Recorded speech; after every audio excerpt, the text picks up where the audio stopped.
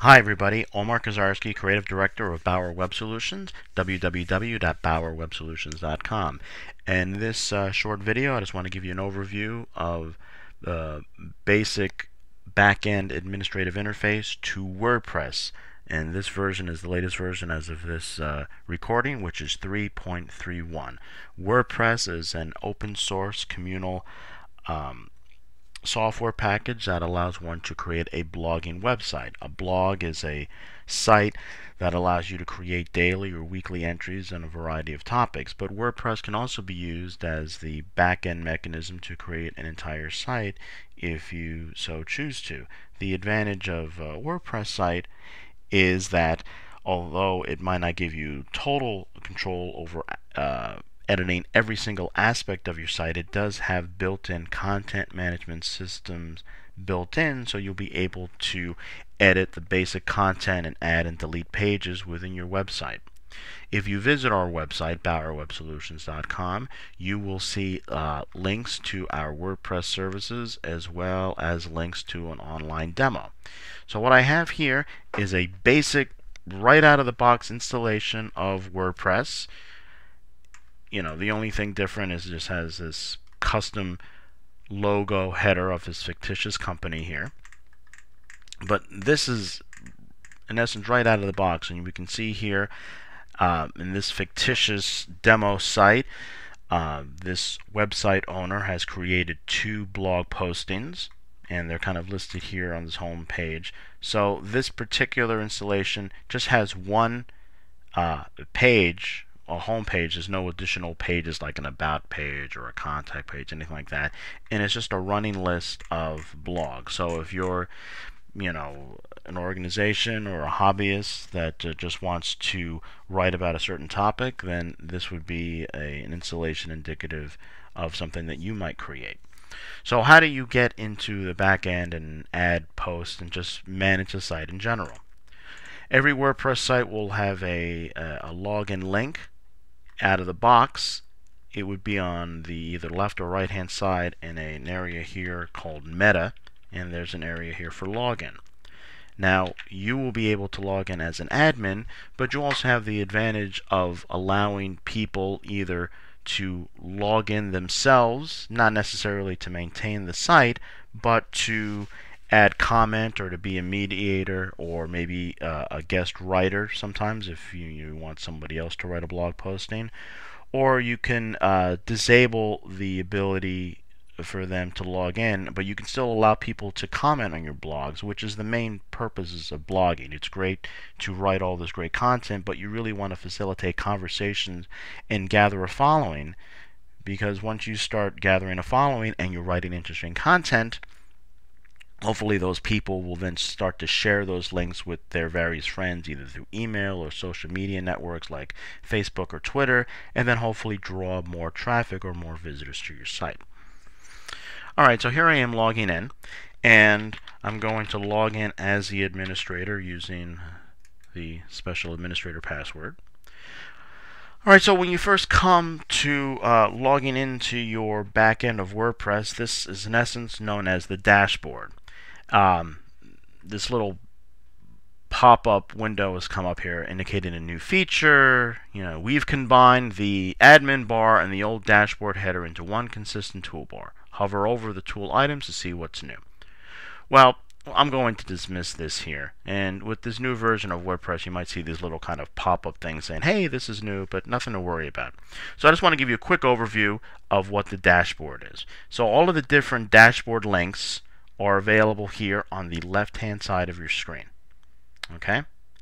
Up on the top in this gray shows you uh, the, the site that you're logged into. If you wanted to visit the actual site, you know, live as, as the general public would see it, you would go to the the the top choice here of the name of your site in the dark gray and from the drop down say visit site okay so this is what the actual site looks like and to go back to that uh, dashboard, again, you go to the top left-hand corner and drop-down menu to dashboard, which is where we were before. Okay, so in the main home screen of the dashboard, it's giving you an overview of what's going on right now. You have two posts, you have you don't have any pages, you have one category, and uh, various things in discussion. If people if people have made a comment on one of your postings, if you've approved it, if there's a comment that's still waiting to be approved or pending, and if there's in certain cases if there's a posting that the computer believes it's a spam posting made by a robot and not by a real person, it'll indicate it here. All right. And in the top left hand corner, there's a thing here that says screen options. You can determine, you know, what information shows up on this main screen here. You know, recent drafts, you know, WordPress news, etc. I try to keep it simple, you know, with the information that I deem as important here. All right. So this is your dashboard when you click on home, it brings you to that same area. Okay, so this is the home of your dashboard, a kind of quick look of what you got going on on your site. The next choice here in that vertical menu on the left hand side is updates. So if there's an update to the WordPress software, um, maybe because there's new features or security fix or something like that, as well as any additional add-ons to your WordPress installation to add functionality to the site known as plugins or themes updates to some of the visual skins of your site these would all be available for uh, update here via this interface. I will state for the record that although you know WordPress will occasionally update their software it doesn't mean they always go smoothly it is always recommended that you back up your website and your database for your WordPress before you do any updates. In the event that there's a problem, you can always go back to the previous working version. And we are always here to help you with that. But if you choose to do it yourself, which you're more than entitled to do, with any WordPress websites that we have created for you, bear in mind, you know, let the buyer beware. Um, if you're going to do it yourself, please, please, please back up your information first. Okay? So over here we have posts. So I can click on posts and I can see a post is, you know, one of your writings, one of your articles. So I can see all the posts that I've written throughout time here. If I wanted to add a new one, I would click on add new. Um, which I'll show you later. Categories. You know, if I blogging about certain aspects. So let's say that uh, I'm blogging about food. I might categorize my different postings. I might have one category for uh, dinners, and another category for desserts, or another category for um, entertaining. So to make it easier for my viewers to to see various topics as I write blog postings on different subjects, I would probably want to categorize them with different categories. Or you could have a posting that, you know, let's say that you're talking about in that previous example showing um, talking about having a dinner party. You might have it have a posting consist of more than one category. It could fall under dinner. It can fall under entertaining. All right. Tags. This is just a way to, um, you know, uh, one of many different ways to help your site, you know, uh, better show up in search engines by adding, you know, uh, appropriate tags to your postings or to your sites as far as you know how it should be listed on your um, in search engines. In the media section here, the media section is where you when you upload uh, various um, visual content to your site, whether that be like a an image like a JPEG or a GIF or a PDF, things of that nature would, would, would show up here and you'll see a running list of the entries within your media library. The links section if you wanted to create a, a sidebar that has links, maybe links to other online resources or other strategic partners or just uh, third-party websites, you can add those links here and then through another section of the WordPress admin you could have those appear on various pages of your site. So it's kind of a, like a, a, a resource section if you will. Okay? If your site has pages, as I mentioned before, this particular um, WordPress installation is just strictly a blog, but if you had a, a WordPress site that was both a blog and had static web pages, you would use the pages section to edit those pages, create new pages, even arrange where they are in the main uh, navigation as far as their order, you know, add pictures to those pages, change the content, etc. Okay, so that's in the pages section. Comments, when a user visits your site and they read a blog posting or in certain cases perhaps even a static page of your site and they wish to make a comment, those comments are recorded here. And with the user interface of uh, the administrative features of WordPress, you can decide whether to let anyone and everyone add comments or if you're going to require them to create an account in order to add comments. And do you want those comments to be added immediately to the site without you knowing about it? Or do you want to first have them in a, in a holding bin that you can first read them over and approve them to make sure that they're not um, either spam or something inflammatory against you or your site or some other organization. So you, those are all different settings that you can do. But within the comment section, this is where you actually see them and you can read them, approve them, even reply back to the person. Okay, which is key to get a conversation going, get buzz about your blog posting and your site in general going on throughout the web. In the appearance section, this is where you can manage a theme. A theme is a visual overlay to your site. The content remains the same, but uh, using a different theme allows you to change uh, some of the content, so some, uh, some of the visual aspects of your site.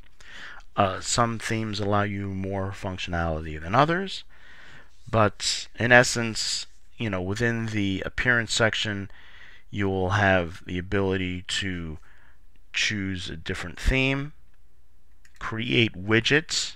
Widgets or little uh, snippets of code that would show up on a sidebar, like the aforementioned links, or if you wanted to add a calendar for your uh, postings or search bar, those are all different things that you can add as well as create custom menus if you uh, so desire. And as I mentioned, certain themes have certain options, like you can change it from a, a light uh, scheme of a light background with dark type versus a darker color scheme with a dark background and, and lighter text. You can change the link color and the general default layout in certain situations as well as changing a background or the header if you wanted to use a different image as well. Okay? Now, the in the appearance section you have an editor, but this is for people that understand code. So, unless you're going to start tinkering with the actual code in the back end, you know, foundation of your site, do not go to the appearance editor because you'll actually start changing things and if you're not careful, you might wind up breaking something plugins or add in third-party uh, functionalities that you can add. Um, some WordPress sites make use of them, others do not. Um, plugins are, are definitely not required, but you know some some websites do use uh, plugins, so this is where you can turn them on and off, and uh, in certain situations, you know, change some of their settings as well.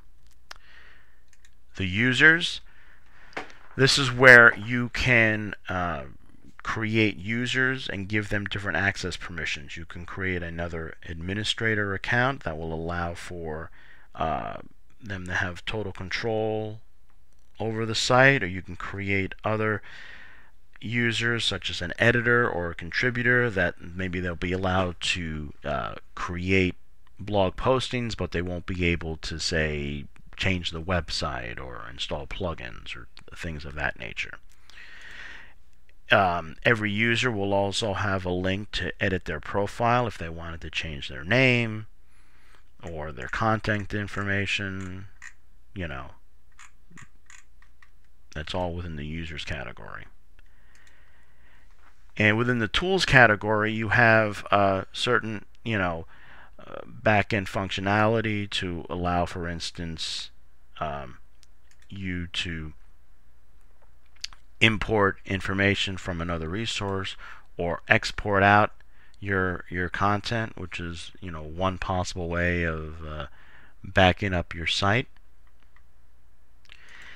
And then finally, within the settings, this is where you change general settings about your site, like the title that it shows up on the on the top of the uh, the browser windows, what the address is, your email, you know, if people can register or not, the date format. So that's all under general settings. Within the writing setting, determines how you know the behaviors of your blog. If you create a blog, will it have a the you know default category? You know, if you're going to enable the ability to actually send your posts via email or remote publishing, there are programs out there for iPhones and Androids to allow you to actually add uh, postings, blog postings to your site using your phone. So you would need to go to this uh, settings writing category and enable some of these features if you're going to use some of those third-party smartphone apps.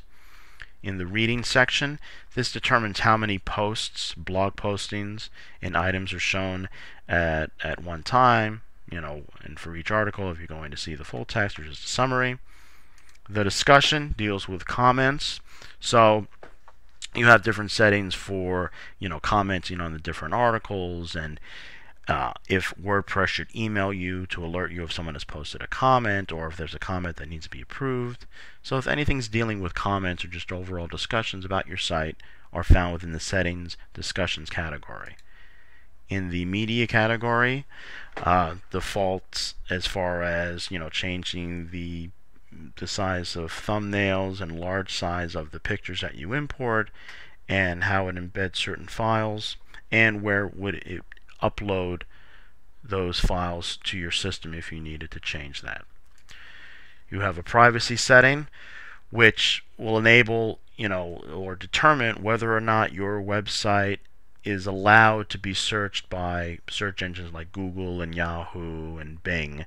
Uh, you know, so usually for the most part, um, you would allow search engines to index your site. However, in this particular case, we decided not to allow search engines to index this site, mainly because it's just a demo site, and we honestly didn't want to waste the search engine's time to to catalog this. Um, but in most cases, most public sites, you would you would want your site to be visible and allow search engines to index the site. And finally, permalinks is a setting that um, we recommend that most people use. It is not required, but every by default, every posting that WordPress does is categorized by uh, one would say a, a, cryptic series of numbers. It's really just what they they call an inquiry. But to make it a little bit more uh, user or human friendly, you can change the settings from a default to something that's a little bit more uh, legible or understandable uh, to human users here. And that just simply you know, uh, changes the web address for your different postings instead of just a series of numbers and symbols to perhaps, you know, the date and the category, you know, listed there. You can see the different choices there. All right. So that's just an overview of the dashboard. Again, nothing really meant I didn't go into anything in, into great depth. Um, but in uh, future videos I will show you how to add a uh, a, a, simple post and um, other features as well so finally the last thing you would want to do is log out you know just in case somebody you know you're sharing your computer with someone and you don't want them to have access to the site so you go to the top right hand corner of your browser and say log out and now you're back to the login screen. So if you wanted to log in as a different user, you can do that, or very simply click on the link here in the bottom to go back to the main site. Okay, so that's a brief introduction to the um, administrative interface or backend, or what they call in WordPress terminology, the dashboard. So hope you found this video tutorial interesting. And if you have any specific WordPress questions or need or need uh, customization of a WordPress site, please uh, contact us at our website, www.bowerwebsolutions.com. Thanks a lot.